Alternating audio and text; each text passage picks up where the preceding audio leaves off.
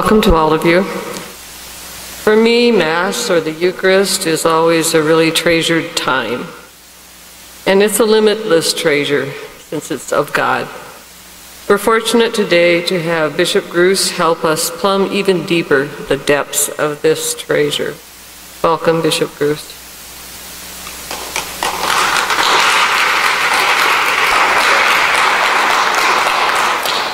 Thank you.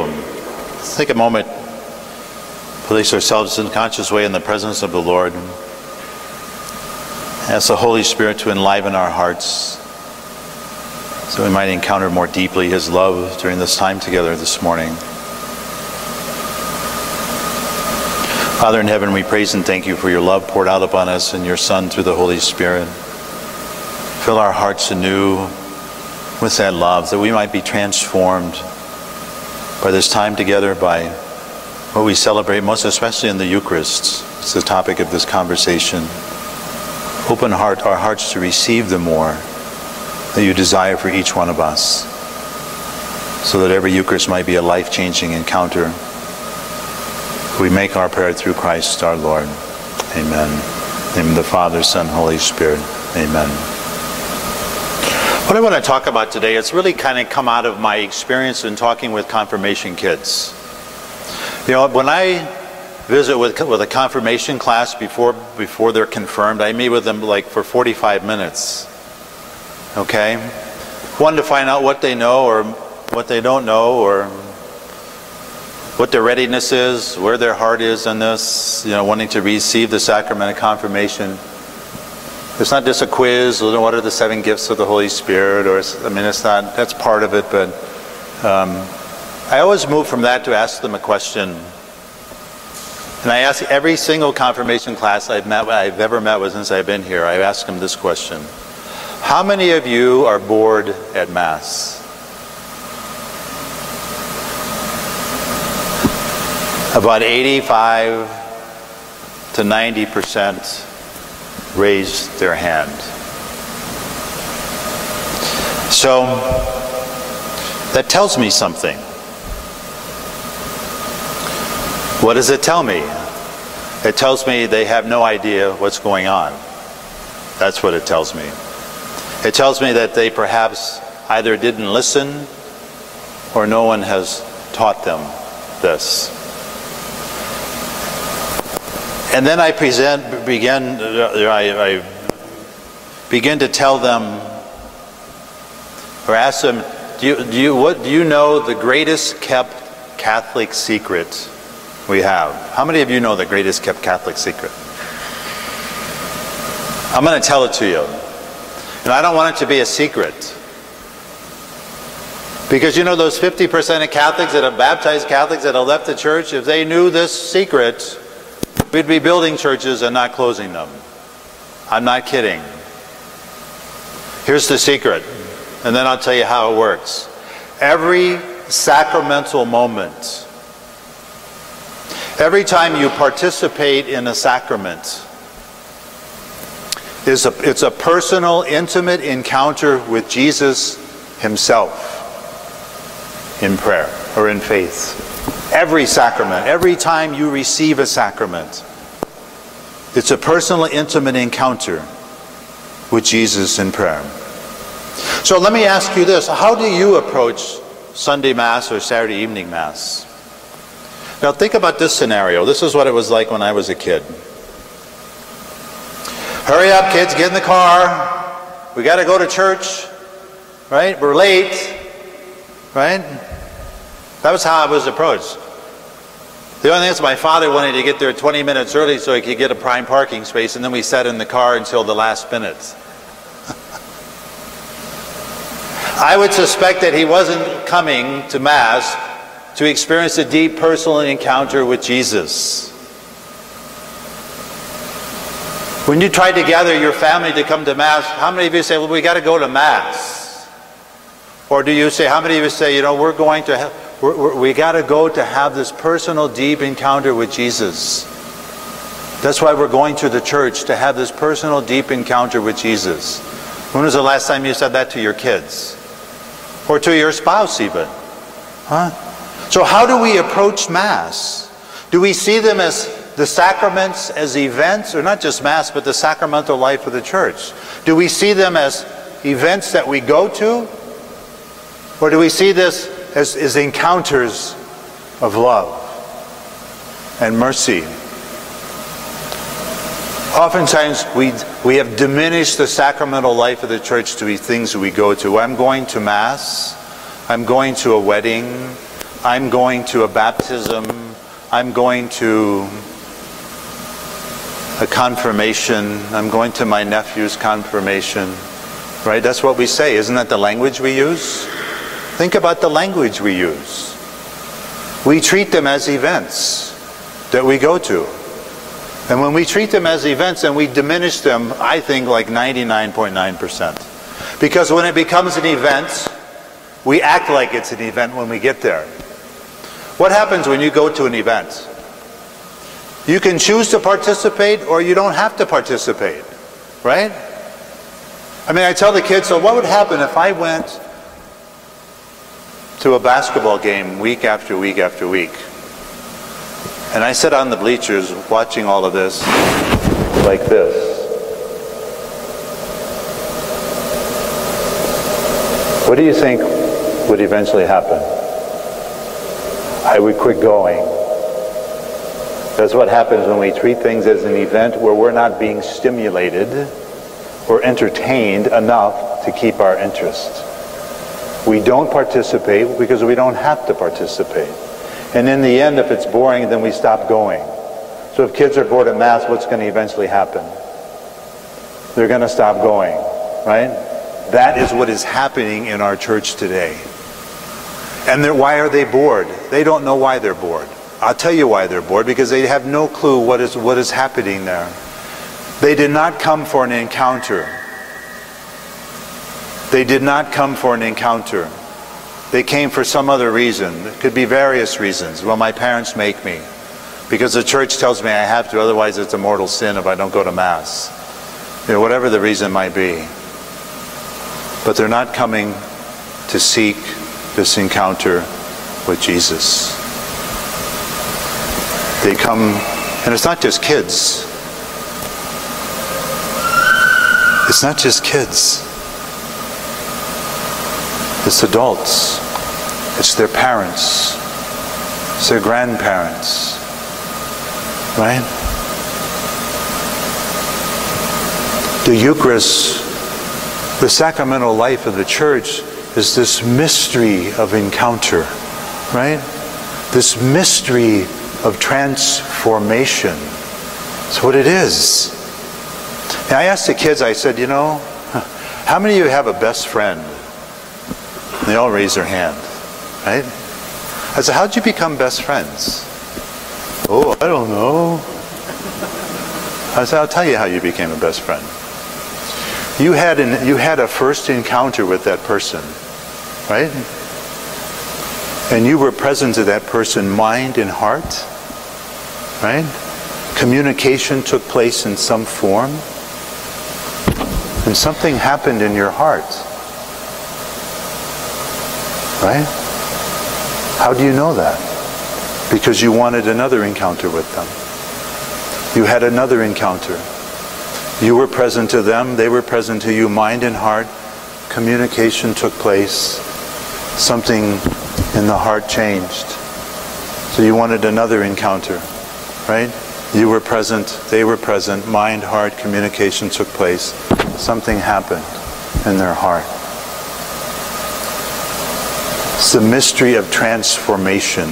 That is how two people fall in love. That is how you two fell in love. Over time, a series of encounters, you were present to each other, mind and heart and spirit communication took place in many forms. Your heart kept being transformed and changed, right? Until you got to the point where you were falling in love with the other person, right? The point where you wanted to give your life away to the other person, right? That is the mystery of encounter. That is the mystery of transformation. Hearts being transformed. And I tell the kids, I said, okay, now you're best friend. Now tell me,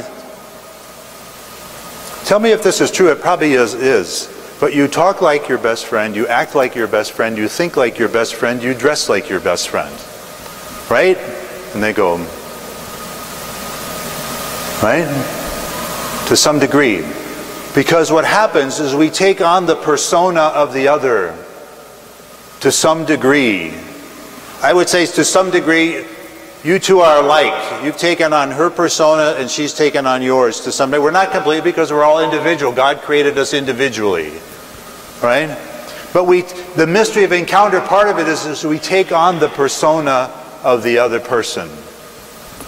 And so I asked them this question. So you have been receiving, coming to Mass week after week, month after month, year after year for how many years? Oh, bishops, it's about eight years for this encounter. So, how have you taken on the persona of Jesus? Or have you?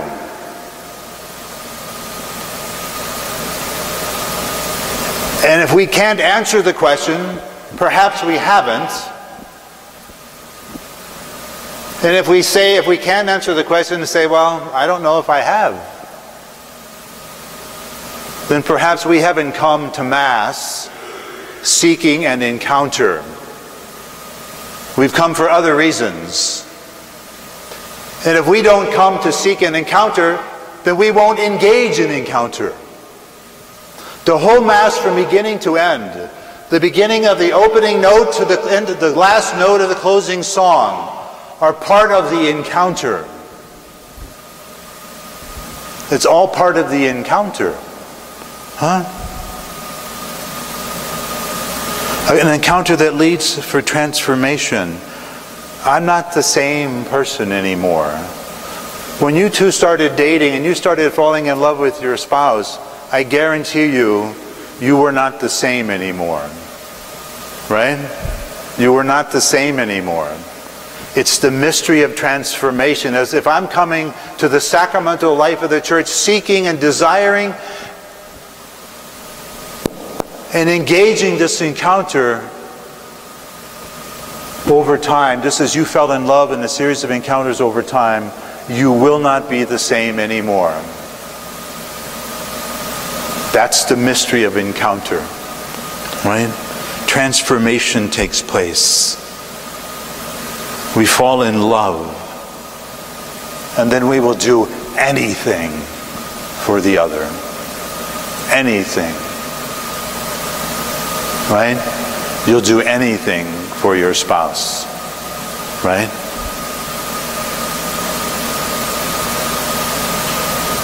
So let's take this this paradigm, this model, and move it into the sacramental life of the church. It's, all, it's the same. It's the same. An encounter with Jesus, although it's in faith and we don't see him, although we do here if we have faith. But the encounter, the dynamics are the same. If we don't come for an encounter, we won't have an encounter. It's simple because we're not engaged in an encounter. And it's important to come prepared for an encounter. You know, I talked last talk about the secular world in which we live. It's filled with secularism, right?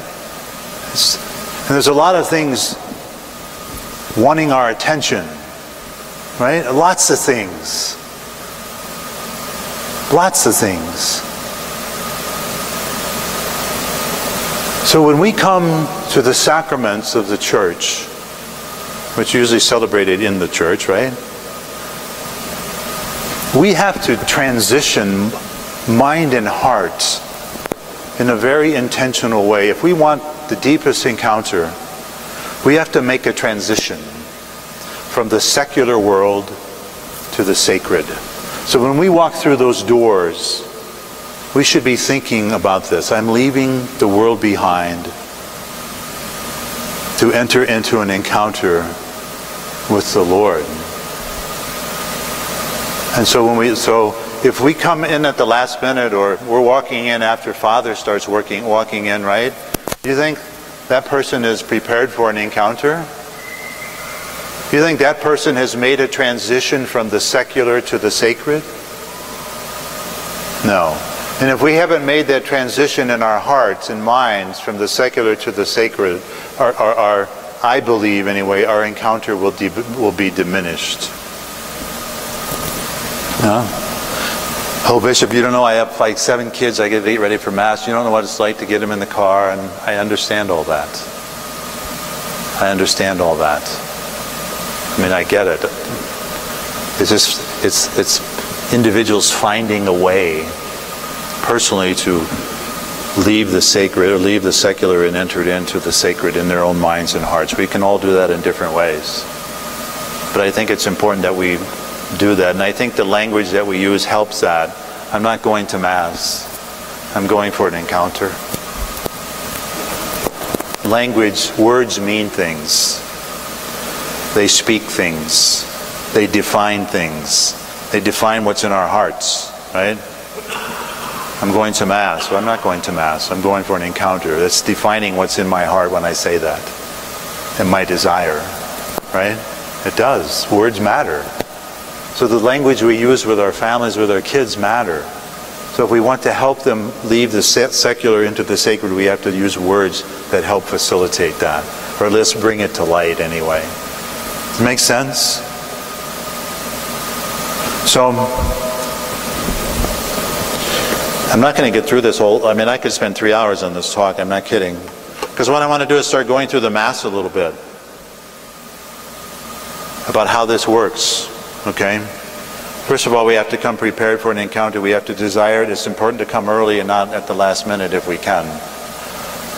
So we can make this transition in our hearts. And plus, it teaches our kids something.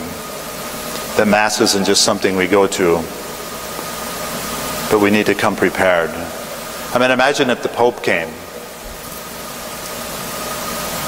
Right? Let's say the Pope came here and we are given tickets to come for those because we have limited space. Do you think people would come early to get a good seat? You think so? I think so. Well, this is Jesus, not the Pope. Don't you think we could come early and get a good seat? We don't. People come early and they sit in the back. I'm not kidding. I've been to parishes, they come a half hour early and they're the last pew on the corner. It's like they're going to make a getaway. I don't understand that. I don't understand that. You know, I used to be that way though. So I can't criticize them too much. But then I saw the light. I experienced the light of the Holy Spirit. And I just started desiring this intimate relationship with Jesus and things change. When we desire it, things change. The Lord will give us whatever the desire of our hearts are if they're focused toward Him. Huh? So come early. Ask the Holy Spirit to open your heart. Holy Spirit, open my heart to this deep encounter. I just want to, I just have a desire to encounter your deep love and mercy. Because I know in the heart of hearts it's going to transform me. Huh? when it become anew. This encounter is a mystery of transformation. Okay? And then we engage through whole, the encounter through wholehearted participation. You know, I'm because the cameras are, I'm not going to go up there, but I had the best seat in the house. And not to judge people in their postures, but postures speak. I'm sorry, they do. When someone's sitting like this,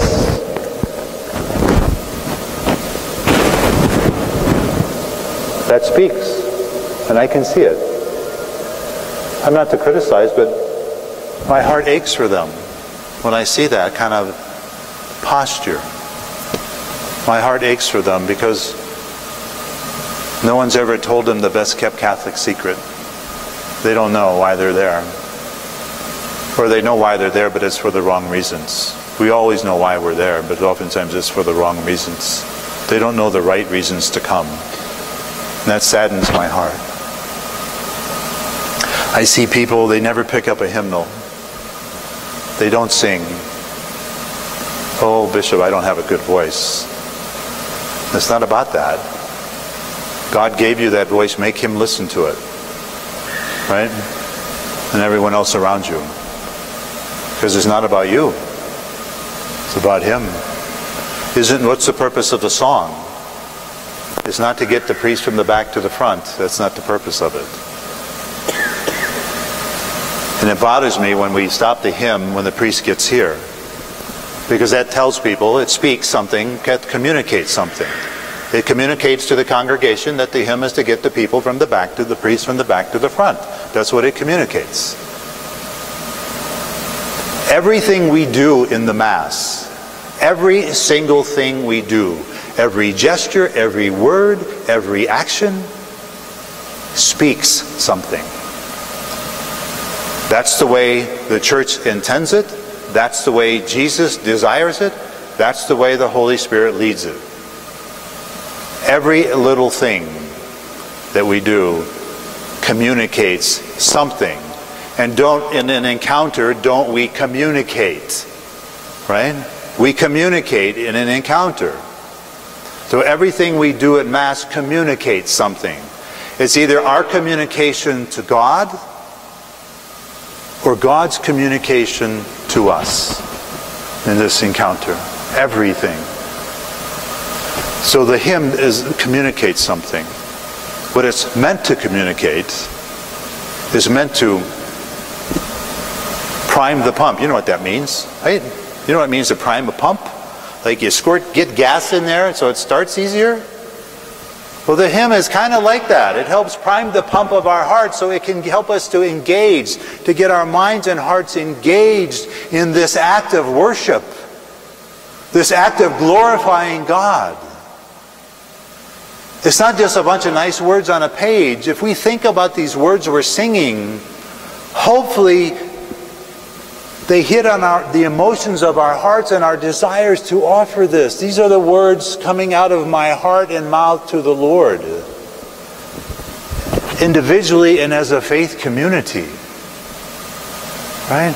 If I think it's just a song I got to sing and there's no, I don't really pay attention to the words, you know, am I really communicating what's in my, I mean, I'm communicating something, but is it really what I want to be communicating to God? You know, the whole Mass, the whole Mass from beginning to end is a prayer. It's not my prayer, it's your prayer, your prayer, your prayer, your prayer, your prayer, your prayer, your prayer, our prayer of thanksgiving. The word Eucharist itself comes from a Greek word that means thanksgiving. The whole Mass is a prayer of thanksgiving to God the Father. Why? For what? Everything that He's given to us in, through his son Jesus. So if we don't come to Mass with gratitude in our hearts, then we're not thinking about what God has done for us in his son Jesus. We're not. But the whole Mass is, is oriented toward that, giving thanks for everything that we have. And in particular, everything that the Father has done for us in his Son Jesus. It's a prayer to the Father. And if we look at the prayers, they're, they're done in the third person, right? Plural. We, our, us. It's not my prayer. It's the body of Christ at prayer and worship and thanksgiving. We're all part of the body of Christ. Hmm? And so we listen to the words. These are, it's not the priest's prayer. This is not the priest's communication to the Lord, it's all of our communication in this encounter. It's just being lipped by the presider. But it's our prayer. Lord, we give you praise and thanksgiving. We, a- we ask this through Christ our Lord. Huh? So if we're mindful of that, then we're going to pay a little more attention because this is my communication in this encounter to the Father. Huh?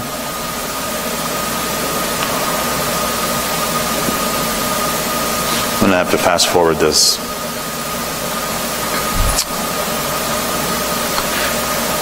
And then the first part of the Mass is what? The penitential rite. What's that about? What's the penitential rite about? The kids can't even tell me what the penitential rite is. Unfortunately, they can't. We ask for forgiveness. Let us prepare ourselves. Let us, let us acknowledge our sins so that we can prepare to celebrate these sacred mysteries so that we can prepare to engage more deeply into this encounter. Huh?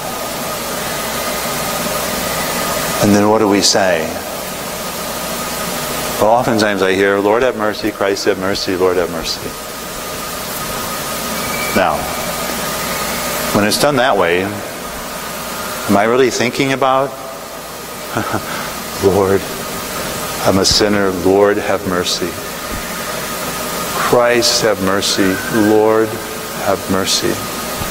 I am a weak sinner in your presence. Huh? May Almighty God have mercy on us, forgive us our sins, and bring us to everlasting life.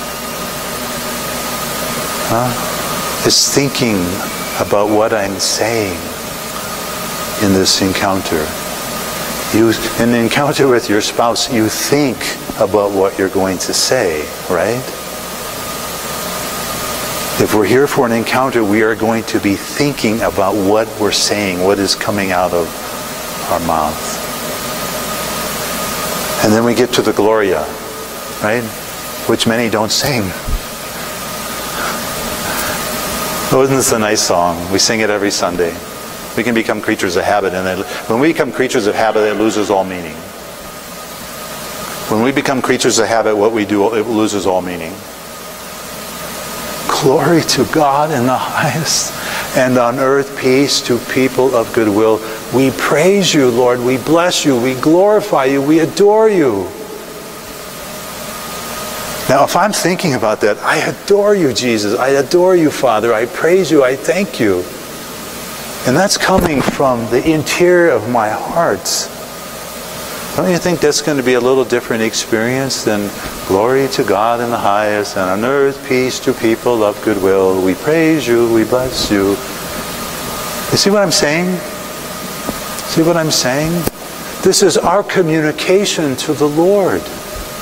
It's not just some nice song that's in the middle of Mass. It's our communication in this encounter. And the more we give our hearts and souls and minds into this encounter, the deeper we are drawn into it. Huh? It's true. And then what happens after that? Then we have the collect, right, where we have this prayer, our prayer. I talked about that. And then what happens? Then we get to the great parts. Right? Where the Lord gets to talk to us. Like, how does the Lord talk to us at Mass? Huh?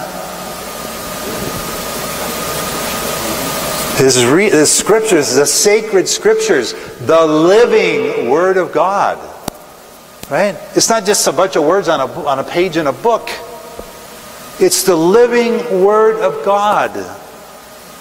So are we listening? Heart, mind, ears, are we listening to what the Lord is asking, is telling us, inviting us into? How many of you remember the Gospels from last Sunday.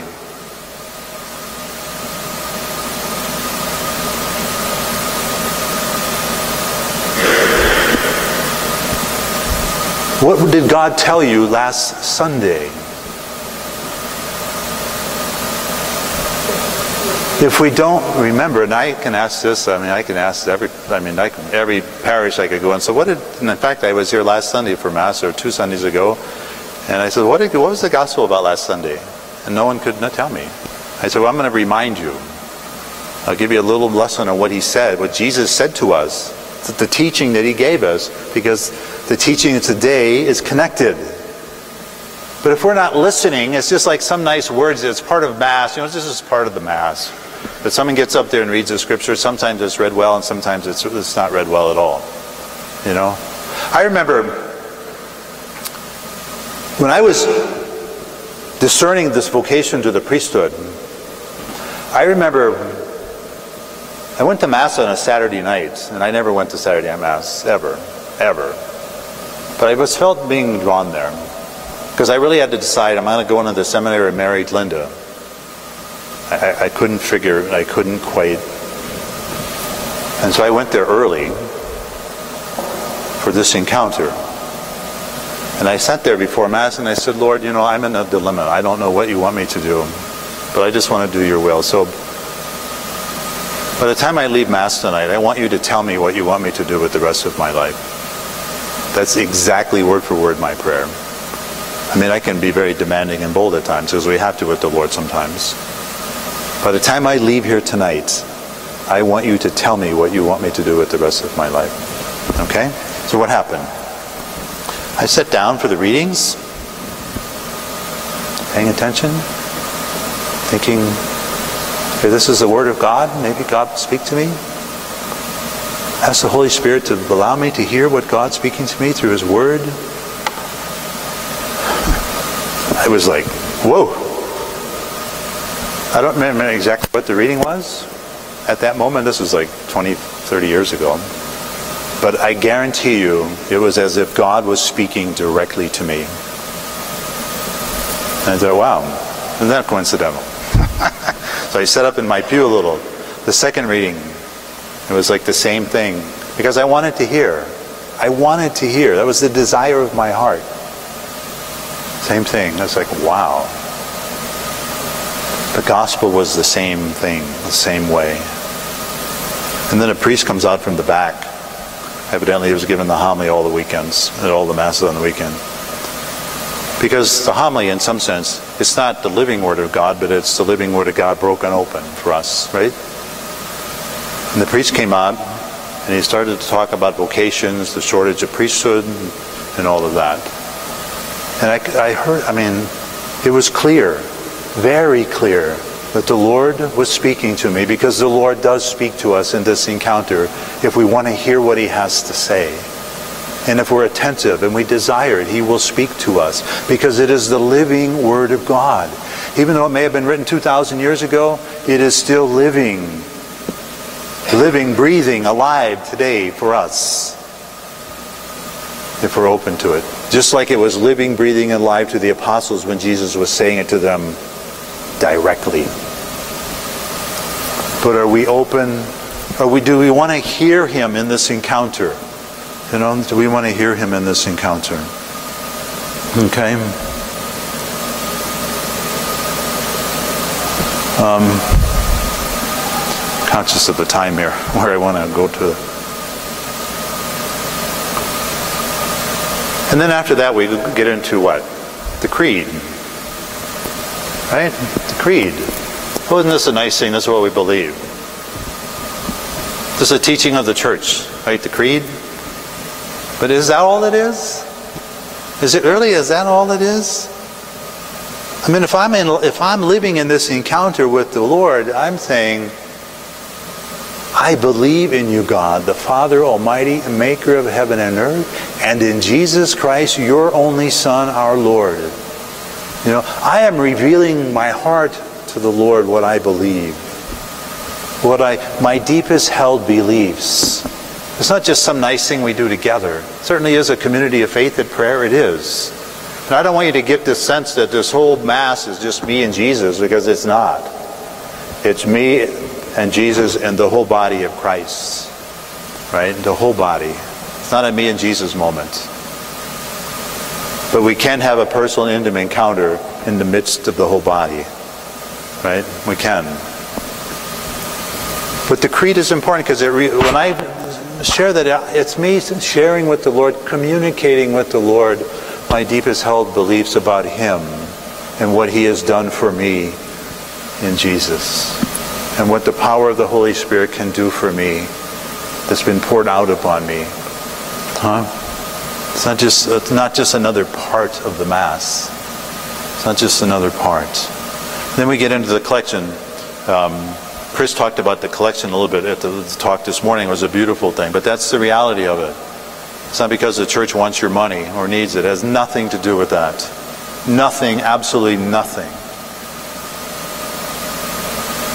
At the heart of it is, I am so grateful and thankful for what Jesus has done for me all that I have is, is because of His love. And out of the deep gratitude of my heart, I want to give back to Him sacrificially, like He's given His whole life for me. It's not about the church wanting your money. It's about me wanting to come to the Lord with praise and thanksgiving in my heart, come into this encounter and unite my offering, my sacrifice, with the sacrifice of Jesus on the altar. Which is why when someone brings up the basket, everything communicates something, right? When the basket of gifts come up and they take it into the sacristy, that communicates something. It doesn't communicate to the people that these are gifts that are offered with this sacrifice. It doesn't communicate that. Or they put it off to the side because they're afraid someone's going to steal it. Who cares if they steal it? It's God's money anyway. Right? But everything we do communicates something. It does. That communicates something. That communicates to me that my offering is really, not, you know, they don't think my, it's an offering. It's just money to the church. And so we can put it into the sacristy so no one will take it. Instead of putting it near the altar the whole time, or people move it in the sack because money counters, they're not at that mass and they don't want to stay over later. They want to count it now. That's terrible. What we give is part of our encounter. And to deny us of that and have it united in, on this altar with the Lord is, is you know, that's terrible. It isn't because it diminishes what it, it's what it's speaking, what it's meant to speak. It clearly diminishes it, wipes it out. Actually, when it's taken completely out of the sanctuary, huh? then it's all about money and not about sacrifice. My sacrifice, your sacrifice. Huh? Makes sense. I'm going to fast forward now because we're running out of time. But you kind of get the. I mean, I could spend three more hours going through every part of the Mass and talk about our communication, the Lord's communication, and so on and so forth. But we're out of time, and I want to leave some time for a couple questions if you have any. But let's kind of fast forward, okay? I want to fast forward to the most intimate part of this encounter, which is what? Huh? The most intimate part of this encounter is communion. Communion. This part of this encounter is communion. Communion with whom? Jesus. Jesus himself Jesus himself gives himself to us fully, completely, body, blood, soul, and divinity, completely, nothing held back. He cannot give any more in this moment of communion. He gives it all, everything he can possibly give. There is nothing left. Totality. Take the word, I tell the kids, take the word communion. Let's cut it in half. What do we have? Com, union. The word com comes from a Latin word that means with. So communion is this union with Jesus. Now think about for a moment. but I think we have to use this kind of this imagery, this imagery. But spousal love, the intimate union between man and woman, the spousal love, where they give themselves completely in totality to the other, right? In spousal love, isn't Jesus our spouse? So Jesus gives himself completely to us, right? He can't give anything else. Nothing. All we can do in our own humbleness, humility, sinfulness, come before Him and do what? Gestures mean something. What does this mean?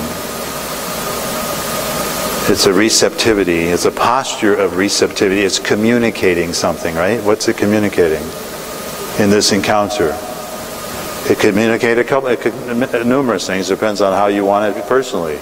It communicate receptivity of the most precious gift there is, right? It could communicate a posture of begging. Jesus, I'm begging for you, even in my unworthiness.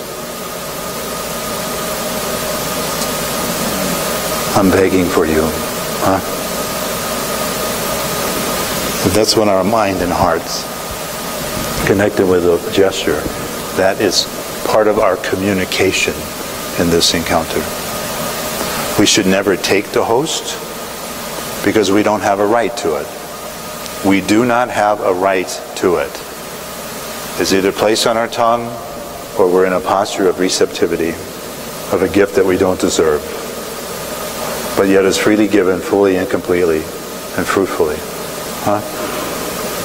Now imagine if we, everyone that came up to communion had this in their minds and hearts. Instead of people receiving and walking out the front door. Now, when that happens, you have, do you really think they know what just happened? They have no idea. And that saddens me. You know, it's out of their own ignorance, and I'm not using that in a derogatory way. It's just they don't know. They've never heard the best kept Catholic secrets. They haven't. But it's so beautiful, and it's such a beautiful encounter, you know. And then we go back and we reflect upon just the depth of love that we've just been given, you know. And what happens when we, when you, what happens when you reflect on your spouse's love for you? Doesn't that deepen that love in your own heart? It should, right? What happens when we reflect upon Christ's deep love for us that's been poured out for us? That should deepen that love and that desire for Him in our hearts. Right? Remember I said in the beginning what happens, you know, encounter is a mystery of transformation. Through a series of encounters over time, we take on the persona of the other. You know? If we come to the Mass, to the Eucharist, with, a, with an intent, uh, with, a, with a desire and an intention of encounter,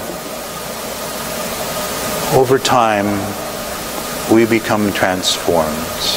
And we will begin more deeply over time take on that persona, that sacrificial persona. We will. We'll say, Lord, I am yours. Do with me what you wish. Whatever, I, whatever you do, I thank you and I praise you and I glorify you. I'm yours. Total surrender. Huh? We surrender and then we take it back. We surrender and take it back. But every time we come with, with an intent of an encounter, you know, the Lord continues to transform our hearts. Little transformation takes time, but it takes us through a series of encounters over time. You know, as we come to each Mass with each Eucharist with a desire for an encounter with the Lord Jesus. Because what happens after we, when we have been transformed, then we will hear again. I don't know that we always hear these words, or we don't take them to heart. Go in peace now, glorifying the Lord by your life. Go in peace now and proclaim the gospel. We will not do that, my friends, if we have not been transformed into this. So the Mass is this mystery of transformation that's coming from a deep, intimate encounter with the Lord. And we have to come to Mass with an expectation and a desire for that and let the Lord do the rest. It's not about having an ecstatic experience. You know, the Lord wants us to have it, fine, He'll give it to us. If not, well, do you have an ecstatic experience every time you're with your wife? No. When you were dating, did you have an ecstatic experience every time you were with your girlfriend? No. No. I asked the kids, do you have an ecstatic experience every time you're with your best friend? No. It doesn't, it's not about us. It's about opening our hearts to the Lord in this encounter. And let me put this in another pers- in one more perspective. We're out of time here. Just about. So if so, that, I'm going to move from the mass. But just remind you that the closing song is not to get the priest from the back to the front or the front to the back. It's the continuation of, of our glorification and praise of God in this encounter. Thank you, Lord, for just what has happened here. You know, glory and praise to our God. What's the song? Glory and praise to our God. I don't remember the rest of the words, but you know that's what it's for, so that we can go. Right? We can go and we're going glorifying God. not looking at our watches. They can't wait to get out of here. You know? So let's. So if every sacrament is a personal encounter with Jesus, so the sacrament of penance, oh, what a beautiful sacrament. It's one of my favorites. If it's a personal encounter with Christ's love and mercy, which is what it is, like who wouldn't want that? Like who wouldn't want that regularly? Except what we do in the church communicates something else. What the church communicates, it's only necessary twice a year. So we offer it, you know, Lent and Advent. And people come, sometimes they don't. Or confession lines are short when we have them during the week or on the weekends or whatever. But if it's this personal encounter with the Lord's love and mercy for me, then why wouldn't I make this a regular part of my life with Jesus? Right? Imagine if you only said, I'm sorry to your spouse twice a year. Do you think you would be married today? Just a request and a rhetorical question. Right? You think you would have an intimate love relationship? You know, so if we're serious about our spiritual life, this encounter with Jesus and reconciliation is a very important and valuable part of that. You know? I asked the kids, like, who baptized you? Oh, Father, somebody, I don't remember his name. Who baptized you? Oh, Father, I don't recall who he was. I said, no, that's not right. If these are personal, intimate encounters with the Lord, Jesus baptized you. He used the priest as an instrument. Right? Jesus baptized you. Who's confirming you tonight? Jesus is pouring out his Holy Spirit upon you. It's not me. I don't have that power. It's Jesus. Right?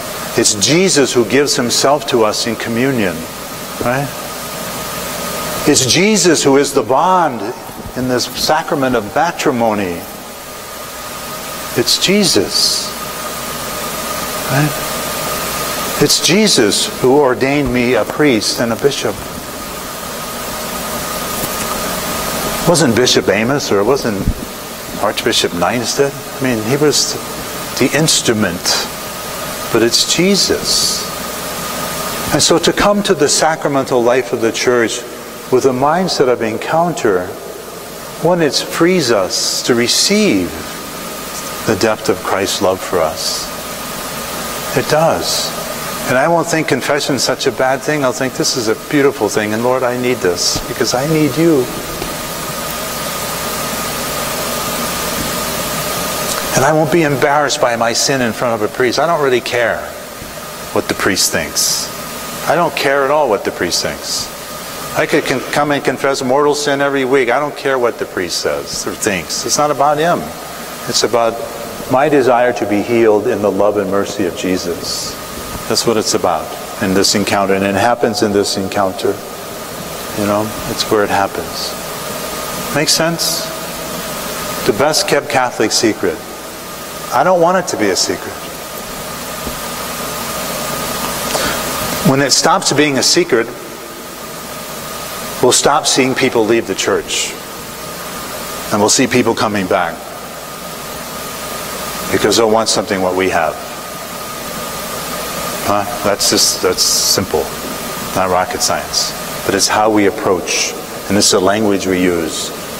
Um, right? That's what's that's what it is. And so, if we want to become alive in the Lord Jesus, and we come for an encounter with an expectation of encounter, whatever that might look like, we don't judge it. It's just what it is. It's not about the experience. It's about what's in my heart. It's not about the experience, it's about what's in my heart and what's my desire.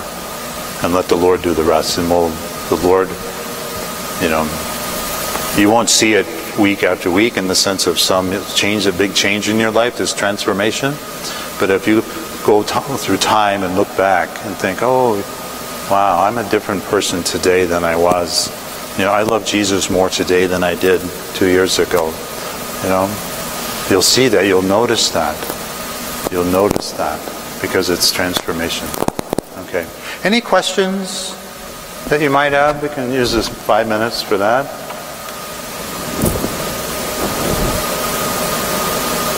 Anyone? Does it make sense? It's not a question, of just um, some suggestion. Uh, I think it would be nice, um, at least a couple, couple times a year, our priests themselves could do a catechesis as you did, you know, about explaining the reason of Mass, whether it's, you know, during Lent or something, because, yeah, we need to You have to talk to your pastors about that. I can't make them do anything. I mean, this is recorded, so they can listen to this too.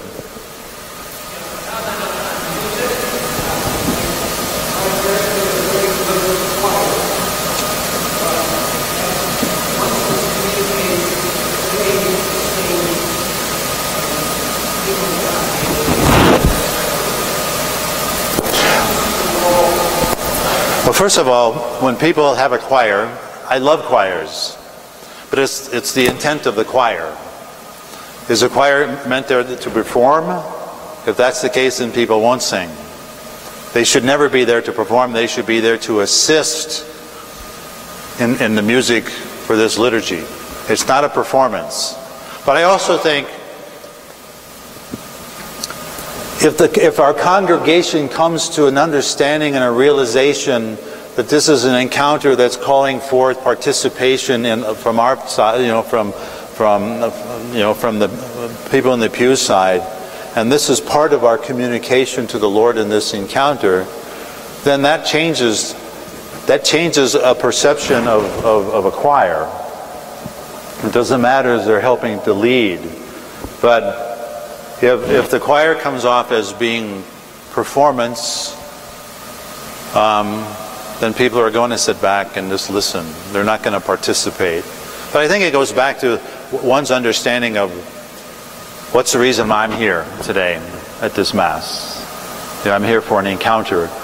And the music is part of that encounter because it primes the pump, it keeps the, the juices of love and going in my own heart as I praise the Lord in this music.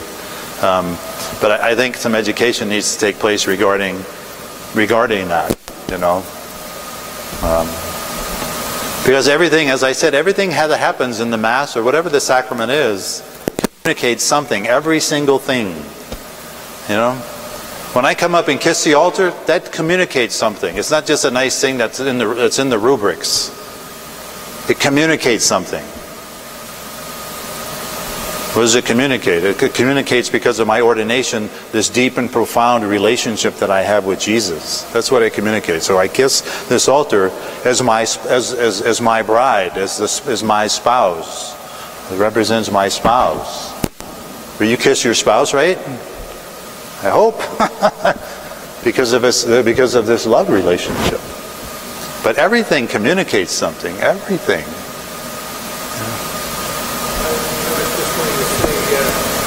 uh, the uh, lift up your hearts and lift them up to the Lord. Let us give thanks the Lord. It is right and just. Why aren't we jumping up and down? Because we're not charismatic. We're not alive in the Holy Spirit. What would, what would happen if people started doing that? People who are not alive in the Holy Spirit would start leaving because they don't understand it. They think you're weird. I'm not going to be a part of this weird parish. It's because it's a lack of understanding. I mean, that's why, you know, we, with catechesis, we've done a poor job of catechesis, I think, regarding all of this. You know, we should be, you know, because even in the dialogue, you know, the Lord, the Lord be with you and with your spirit. Like, where's the, like, lift up, lift up your hearts. We lift them up to the Lord. Really? Did you just lift your heart to the Lord? Really? I don't see, that didn't what I, that's not, that's not what I saw. You know, maybe your actions are different than what came out of your mouth, but, you know, let us give thanks to the Lord our God. It is right and just. And what is the what's the what's the preface say? Yes, it is truly right and just, Father. You know, to praise and glorify. It is truly right and just, Father of mercy, or whatever the preface goes on to say. And then it goes on to say what the, what the Father has done for us in Jesus. I don't have a, there's not a, a Roman missal either, but if you look at every, every preface, it's about, it's a prayer to the Father, about what Jesus has done for us. You know, what the Father has done for us through Jesus. Every single preface is, is about that. And using different words to make that point known. So it's so it's the Father speaking to us. This is what I've done for you in Christ. You know? Not just something that the priest says. So we, we have to take everything that's communicated, that's voiced, either by us or by the priest, or by other liturgical ministers, as either our communication or God's communication to us in this encounter. So we have to listen, you know? Father, we praise you, we give you praise and thanksgiving. Father, we give you praise and thanksgiving. You know? But most people think it's the priest's prayer. That's not the priest's prayer. It's the body of the prayer of the body of Christ. It's just someone has to say it. Right? And the priest has been ordained for this part. Hmm? Last week in Gregory did a book study on the Mass. I think we got six or seven things to take. We spent four or five months on it. We got so much less than we did to today. I challenge you. Put this on the table.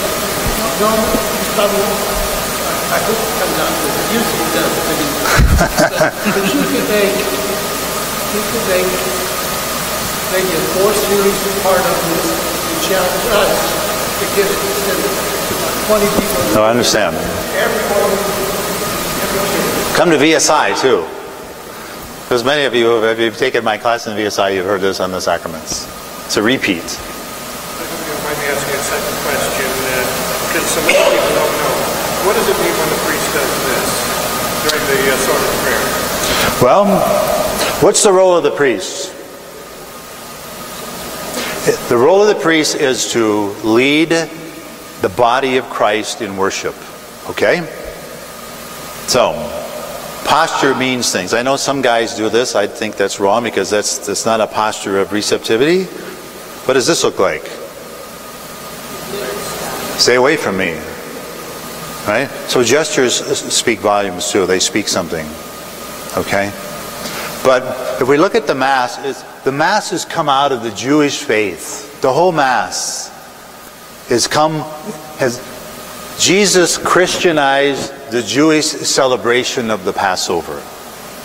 So if we look at the whole Mass, the Eucharist, it really stems from the Passover meal because it is the Passover meal, right? But Jesus has Christianized it, okay? The prayer position in the Jewish church, the posture of prayer, of entering into this encounter and this relationship with, with Yahweh, our hands in the what we call the orans position, which is this. So that's kind of where it comes from. Because this is how the Jewish people pray. On their feet with their hands up. Because this is the posture of glory, of glorifying God. So that's sort of been kind of transferred into the life of the, of, of, the Christian church, the Catholic church anyway. But it's also a posture, I believe, of leading people in prayer. Right? And it's also that posture. you know, I mean, we don't want to be. I mean, we have to put it. We have to keep it within a, within a, a proper context. You know, but sometimes people pray like this. This is um, what happens in the, Latin Church. You know, this is you know for the Latin Mass. This is this is the Orans position, um, but this is a different rubric. You know, it's a different Mass they're celebrating. Okay, than what we celebrate here. And so I think gestures need to be, you know, in accord with what we're, you know. And if, if you look, if you look at the rubrics, it'll say that's in red, like in the Roman Missal, in the orans position. It's not like this. You know, and some people I, I've had mass priests have been like this, so this is like it's a goalpost. It's a goalpost position. You know, so I think priests need to be conscious of their gestures and how they do or not lead people into this act of worship and praise. Because as the priest goes, to be honest, I believe, the community goes. Hmm? So it's just something for us to be mindful of, for us as priests, the way we preside. I mean, we all have our unique personality and what have you that we don't want to remove, but we also have to be conscious of, you know, my positions, my hands, whatever they might be, what's going to help people more, because they do communicate something. And what I, what I think they might be communicating and what they're actually communicating could be something different, you know. So it's important to kind of be mindful of that. But again, everything communicates something. Everything. You know, I could get into holding hands with our Father. I mean, that's a big issue. I could get into people coming up in the communion line for a blessing that should not happen. It's a communion line, not a blessing line. Um, but it's hard to change. Like these habits have, have worked their way into the church and have diminished the theological meaning of what we do. So, this communion line, for example, who can receive communion in the church? Those who are in communion with the Roman Catholic Church and who are in the state of grace. That is, the, those are the people who are called to come up to this personal encounter, this communion with Jesus, because they are in communion with the church and they are in communion with the Lord because of the state of their soul. Okay?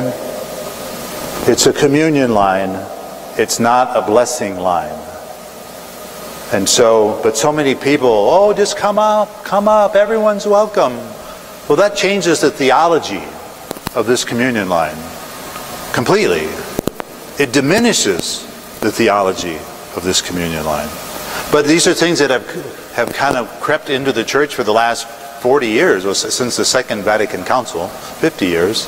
And so now it's kind of hard to, you know, it's kind of hard to stop some of these practices that have diminished the theology of what we're celebrating.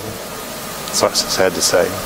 Doesn't mean that we can't do it, but it's it's us going out and talking to people and, and, and stop inviting non-Catholics to come up in a communion line. They don't belong in the communion line.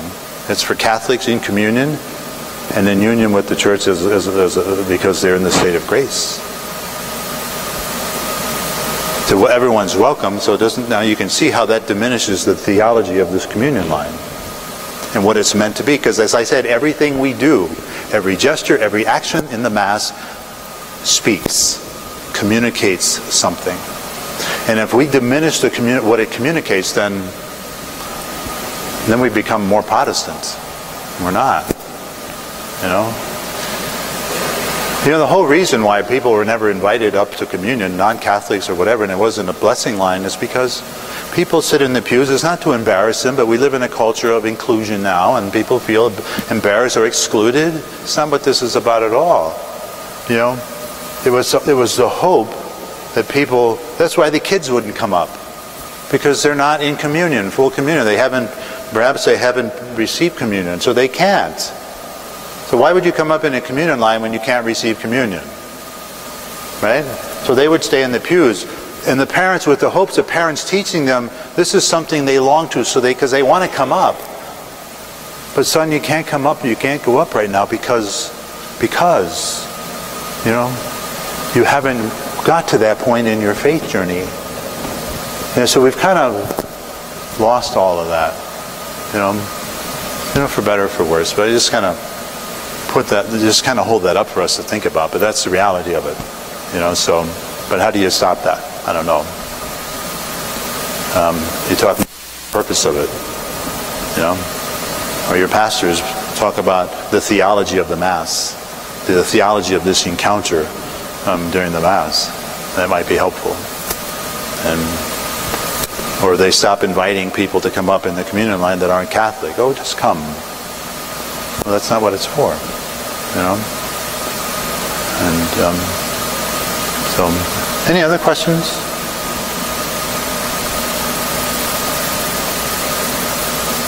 And plus, you know, on that same note, you know, even like Eucharistic ministers, lay people are giving blessings. They have no power or authority to give a blessing. They've not been ordained. So they're not giving a blessing. I don't know what they're giving, but in the eyes of the church, it is not a blessing. Only those who have been ordained can give a blessing, what, what the church would call a blessing. So I, I don't know. I, don't know what they're giving. But see, that's, that's, that's all of this has caused a lot of confusion, as you can see. A lot of confusion, you know. And how do you kind of kind of work through that? I, I don't know. It's a challenge, but you know, the Lord is, is bigger than us, right? So that's how I like it. The Lord is bigger than us. But these are just some some issues that we see in the church. Um, in regarding this encounter at Mass and what what it's meant to be, and, and you know, and, and, what it is, you know. So, but all right, I guess we're done.